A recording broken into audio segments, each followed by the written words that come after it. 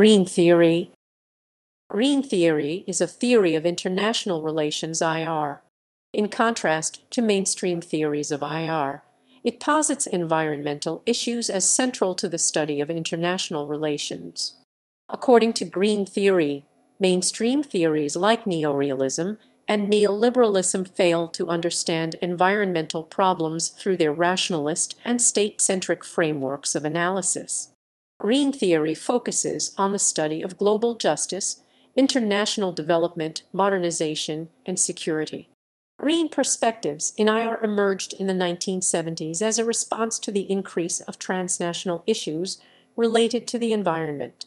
By the end of the 20th century, green theory had established itself within the discipline. Green theory aligns itself with postpositivism that emerged from the so-called third or fourth debate of IR. The theory can be divided into an international political economy IPE-oriented wing and a cosmopolitan wing. Initially, the IP wing, mainly interested in environmental regimes, was stronger, but subsequently many cosmopolitan theorists, like David Held, Andrew Linklater, Henry Shue, and Thomas Pogge, have made contributions related to environmental issues.